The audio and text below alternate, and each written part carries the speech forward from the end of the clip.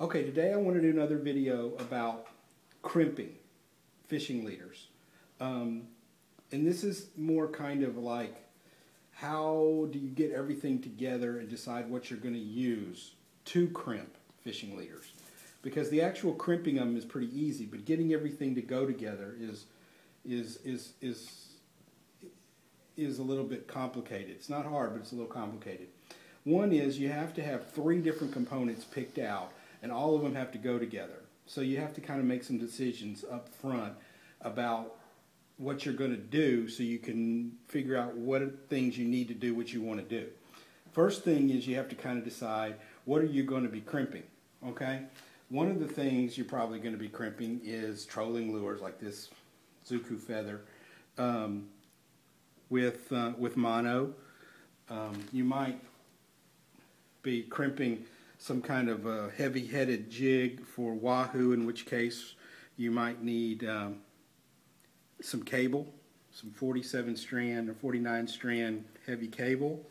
Um, or you might be crimping some type of bottom rig, like this is a big heavy 250 pound um, mono um, bottom rig, which I'll show maybe in another movie how to make one of these. They're pretty simple. It's a bunch of wires, but basically it's all there.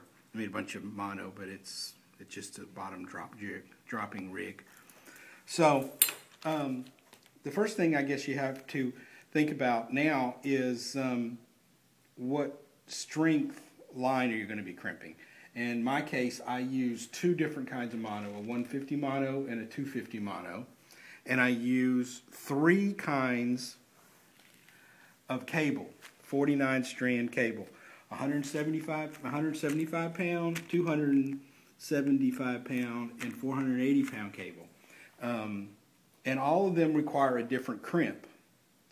And here's the a little chart of the crimps uh, with what they go go with. Now you have three basic kinds of crimps that you can crimp with a hand crimper like this, and single wall, uh, single um, crimps, which are just a little metal tube. These double sleeves, which are which have like a little kind of a figure eight profile that you put um, the thing in, and I'll show you how to do that in a minute. And um, these Momoi aluminum clamps, crimps, which are just oval. Now, some of them are long so that you can put a double crimp in it here and here. And some are single for just one crimp. And I'll show you this here in a second. Now, the crimps, every company that makes crimps um, makes has labels them differently uh, in sizes. And the crimps that I like are these Billfisher.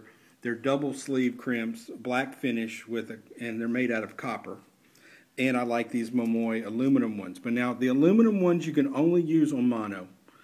These you can use on mono or um, cable. The, if you use these aluminum ones on the metal cable, they set up a dissimilar metal reaction and they'll just dissolve and ruin each other. So um, now these these each one of these crimps has a has a number that has to do with the inner diameter and if you'll notice on the on the crimper, it has numbers also. And, uh, see what these numbers are. But this is where you're going, like this is a 1.9, so you're going to be crimping it here in this one that goes for the 1.5 to 2.0 and uh, the smaller ones like this is a 1.0 it's going to go in the crimp in the first one. So each one of these matches up. Now here's where the the problem gets in. You go to the store and you buy one of these uh, this crimper which is just like most of them they're all I bet you they're all made at the same factory. They all look similar.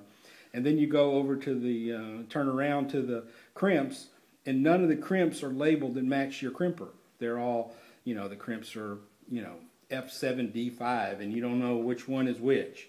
Or um, they don't have the, the, or the crimps don't tell what size mono or cable you're supposed to go with them. So it's kind of a little bit of a kind of experiment to figure out which ones you like, but you really have to try to find a crimper and crimps that are labeled to the same so that you know which hole to crimp in. And then on the internet, there's lots of little charts and and um, where you can match up which mono and things like that go together and which cable here and go. But um, you have to make three decisions kind of simultaneously. What crimper am I going to use? What crimps am I going to use? And what um, material I'm going to be crimping. Now, the single um, tube type crimps have a very bad reputation. I've never used them because everything I read said they weren't very good. So I've always used these, and and and the the mono uh, leader material that I bought came with the crimps to go with it, which was a real help to figuring out which ones to use. So I still use the ones that came with it.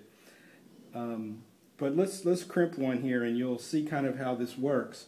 Um, we'll start with this is 175 pound 49 strand cable, and um, all you do is uh, put the uh, crimp on bend it around, put it back through. Now there's all kinds of um, things that I'll do in another video to show, um, you know, there's sleeve protectors, chafing and uh, beads and swivels that you can add in here before you crimp it to, uh, you know, that you can put on here before you do it if you want to need it. But these are all application specific things. But in this case, we're just going to crimp some and test them to see how they, so you can see how it goes. Now, you don't, you, you want to adjust your loop, but you don't want to have this tag end sticking out uh, because it'll fray and it gets very sharp and it'll stick you. So once you sort of have your loop size, you want to pull this in until it's just barely exposed there, so there's not enough to fray you. And then this is the 175 pound cable, so I'm using the 1-0 crimp, which goes in the first hole. Let me check, okay? Now here's the critical thing. You don't put it through there and mash it like this. You put it what's called cup to cup. So you put this in here, get it right in the middle because you don't want to crimp near the edge because then it'll create a little sharp edge that may cut into your material. So you see I'm, in the middle here. Okay, I got my little crimp and then you just squeeze it down. And then you have a nice crimp. No sharp edge, it's away from, see how it's flared here on either end so there's no edge it's cutting into your material.